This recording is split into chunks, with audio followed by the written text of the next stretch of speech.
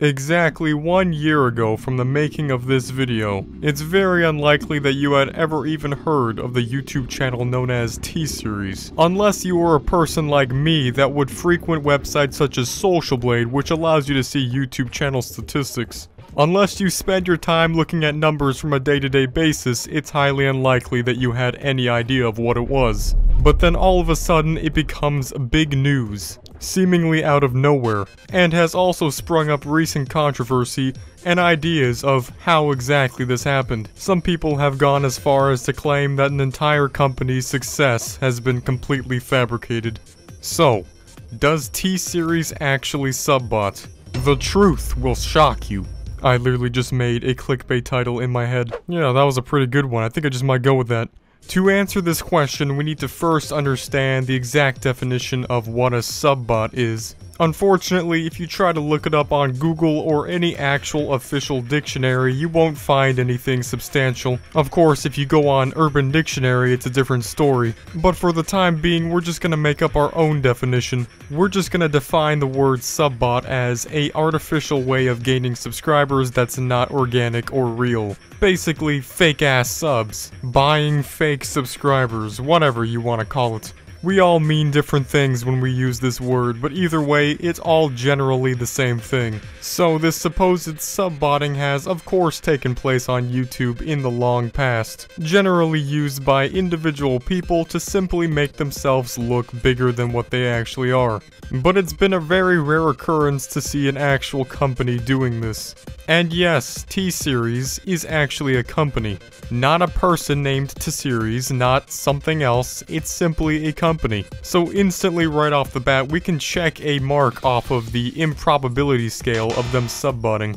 Because what would be the point of a company faking their own subscribers? There's no monetary incentive from it. You obviously don't get paid by how many subscribers you have, so it wouldn't affect the company in terms of how much money it's making. And generally speaking, companies don't care about how many subscribers they have, they only care about the amount of people they're able to reach. So if anything, it would be more probable of T-Series faking their own views. Multiple Vevo channels and celebrities on YouTube have been confirmed to have been doing this a long time ago and probably still today, generally as a way to increase their own publicity and encourage more people to watch their stuff. And sure, you can argue that T-Series could be faking subscribers in the attempt to simply attract more attention to them. But this is where we have to jump into the juicy stuff. We're going to dissect the exact possibilities of what it takes to subbot on YouTube, especially if it's even possible to subbot 90 million subscribers.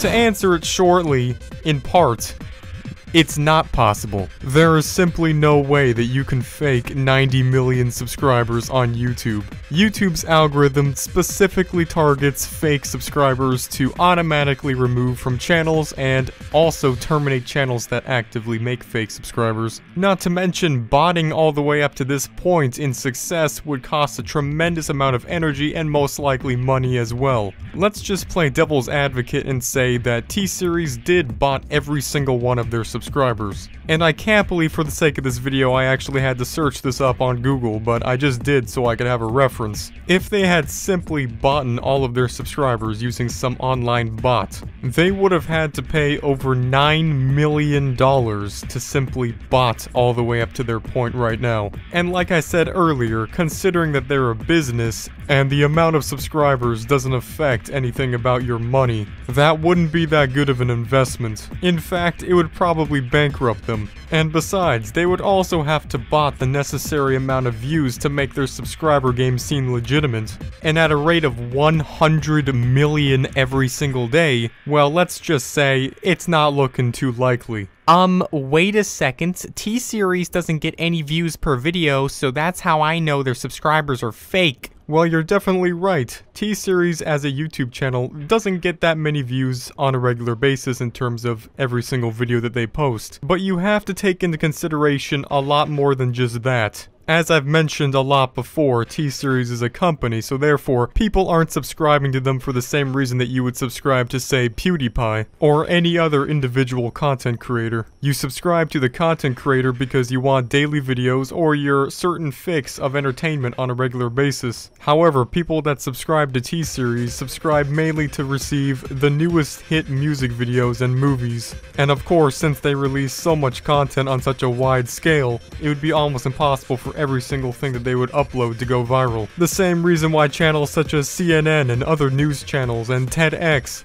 usually don't receive too many views on every single video that they post. And this is specifically because not every single video they post is gonna be the next viral news story or the next biggest TEDx talk. And companies have to continually mass producing their content in order to gain more of them, since they have the manpower to do so. So I would say that this probably would go to another check of improbable for their subbotting. So basically up to this point we've discussed everything against the idea of T-Series subbotting, but now what about about the evidence towards the notion. On multiple occasions, it's been seen that T-Series would instantly gain thousands of subscribers in one second. Now, this could easily be chalked off as simple YouTube subscriber audits where they can either take away subscribers or add subscribers. Sometimes even live update counters are usually relying on the flawed YouTube system, which sometimes is delayed and then instantly updates in one second. However, that doesn't explain the almost perfect perfect stalemate between T-Series and PewDiePie